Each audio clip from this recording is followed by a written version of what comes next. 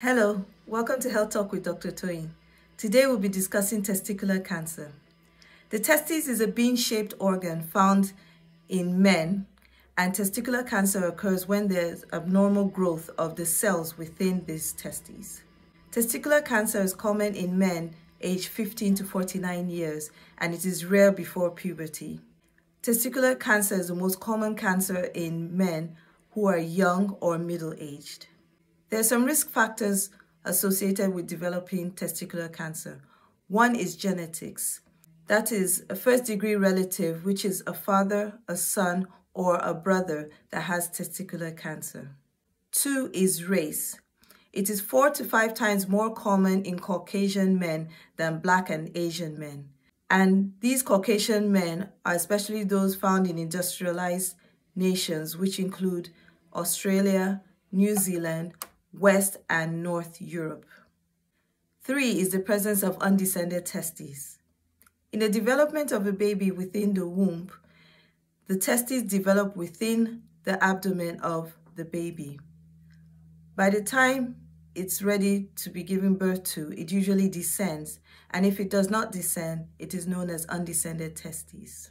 Four is factors from the mother, and this includes things like increased weight or increased fat tissue within the subcutaneous layer.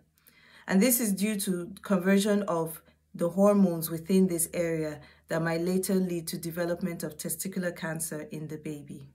The symptoms of testicular cancer include one, a lump.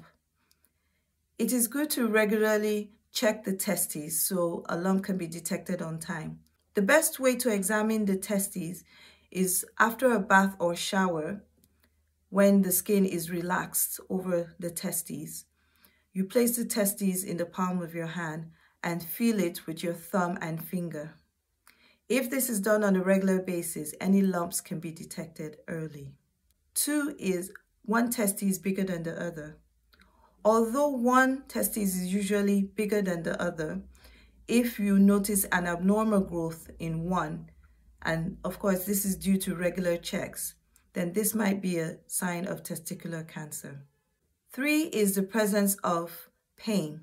Although pain is not usually present in testicular cancer, it might occur if there is bleeding in the surrounding tissue around the testes. Four is a dragging sensation within the scrotum. Five is incidental trauma to the area which might lead to the detection of testicular cancer.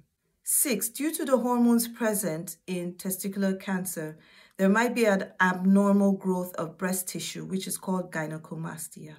Seven will be symptoms due to spread of the disease either to the lungs or liver, so things like shortness of breath. There are some investigations that might help in detecting testicular cancer. One is an ultrasound scan.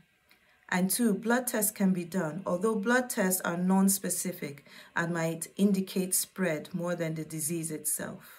The treatments available for testicular cancer include one, surgery. The testes affected is removed, and this does not affect the ability to have children or intercourse. Two is chemotherapy. Three, radiotherapy. I hope you are able to learn something from this talk. And don't forget to always feel for your testes regularly so you can detect any changes early. Until next time, smile because it's healthy. Bye.